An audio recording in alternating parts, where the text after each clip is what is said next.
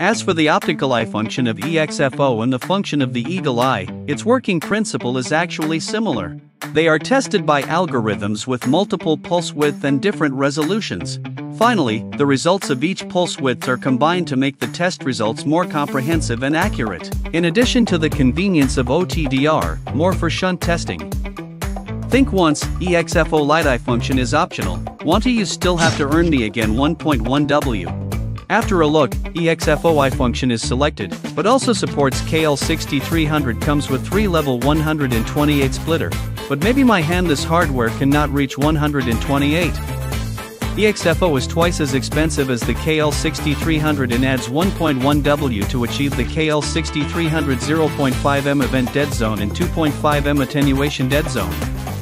But have one thing, better than KL6300 can take light test, but then again, Jilong also has can take light test model, better than you. Let's take a look at the domestic OTDR, KL6300 Eagle Eye function, build a test environment.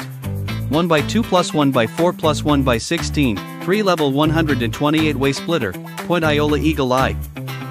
Set the splitter.